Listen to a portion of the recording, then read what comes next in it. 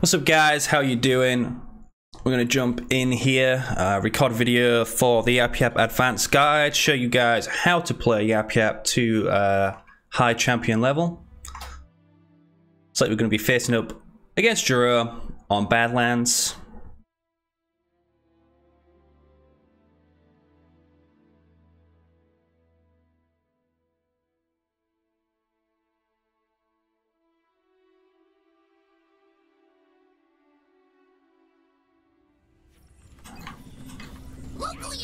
Yeah, that's a great leader and a fun leader to play as.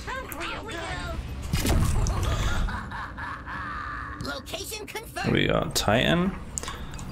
So usually what you want to do with Yap Yap, uh, you've got all this fodder, so you have five starting fodder, you want to send that all over the map uh, immediately to collect as many resources as possible. I generally open Chopper. Uh, the Chopper allows me to be very aggressive early on and control all of the power locations essentially.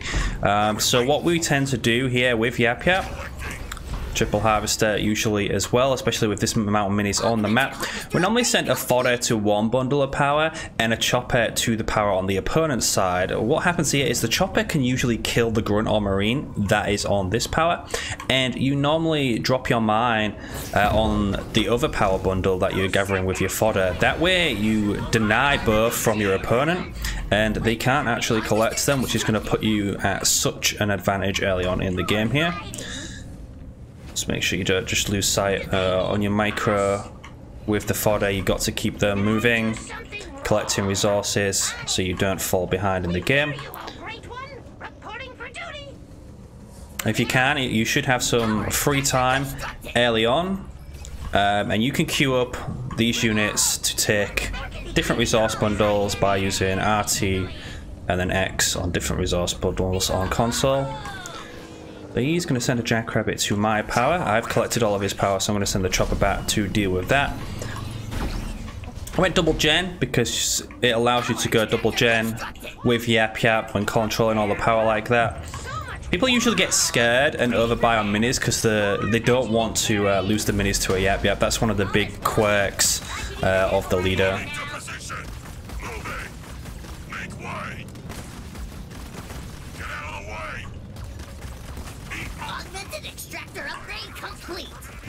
I'm just going to wiggle away from the Jackrabbit. We don't want to take many shots. And there you go, the mine has worked perfectly. He sent another Jackrabbit to the mine. So losing two Jackrabbits in two minutes here, uh, very costly for him. This is going to allow me to pick up basically every single mini base on the map and still stay ahead of my opponent. Grab that one as well. Because now we just have full map control with all of the fodder. He lost two jackrabbits, he's going to be really far behind. Now, when you get to this stage, your second leader point, there is various options you can do uh, as you have. So he has picked up one mini base. I generally like to go into double mine, um, especially when I'm playing chopper.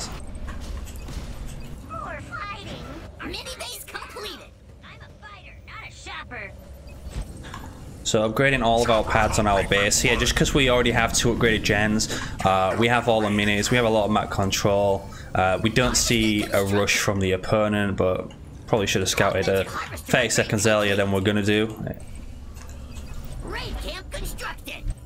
I'm just going to build some Grunt Riders to clean out his mini and take map control. Halo Wars 2 is always about Oh, any RTS really. Putting yourself in the best possible position you can. So notice he has two upgraded gens, two upgraded supply pads. So he's trying to make up for losing the minis. His economy is still going to be worse off by upgrading that, but it's not going to be really extremely far away. He's going to try and pick up an expansion because he lost all the minis. He needs to do something to get back in the game. He needs those pad slots. The moment it's four mini bases to one, and I should be cleaning this out as well. He upgraded this one as well. And he does have a Jerome hero on the way out. Jerome is very good at dealing with choppers. We, luckily we hit the mines there, we're just going to sit on them, get our fodder uh, to take them down so we don't actually we don't actually lose out, lose any choppers. Can't get my words out at the moment. I readjust that rally point to the base over here. Not wanting to get this up, we got to deny this as quickly as possible, and we're going to go Tech 2 now as well. Don't see his hero yet, but I did drop mines on the ledge uh, where he's going to come down from. See if I can get a mine hit on him and pick him off with the choppers. I'm just going to clean up all of these marines. A huge advantage. Swap this to a red cam pick power expansion now as well.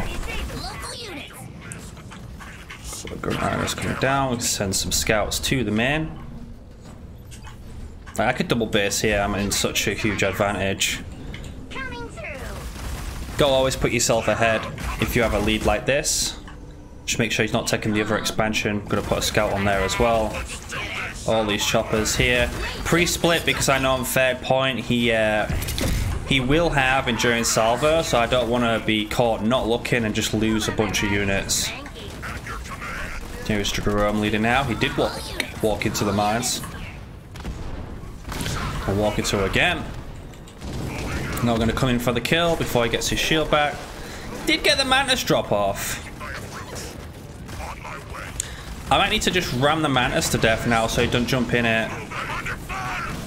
It's unfortunate.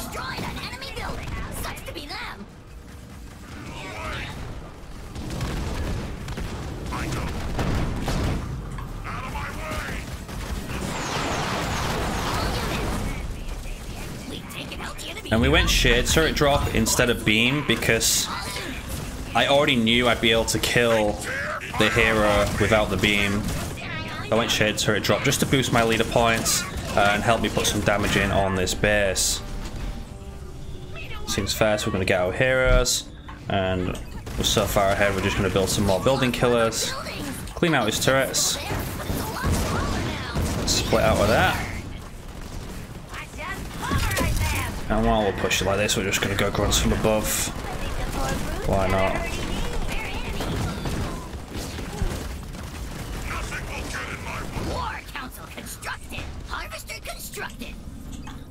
Start upgrading our eco.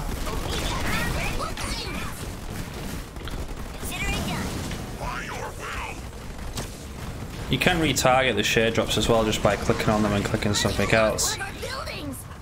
No, we need the choppers around here to deal with these marines while the grunt riders take out the turrets.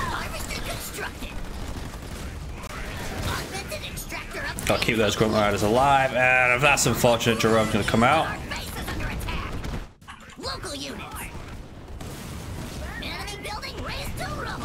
Don't think we'll be able to kill him, but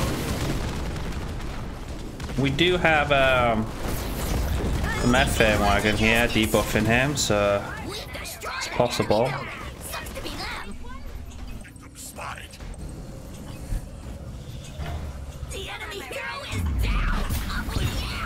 So we did manage to kill him. The explosion on the methane wagon actually took him down, which is good for us. This game is pretty much over. We're just going to take the full map. Make sure you can't do anything to get back in the game, anything crazy. Best thing you can do is save it for Omega Team. Uh, but it's not. He won't be able to afford it. We are on fifth point yet. I'm ahead of him on leader points just because of all the damage I've done. There's just nothing he can do now except press the resign button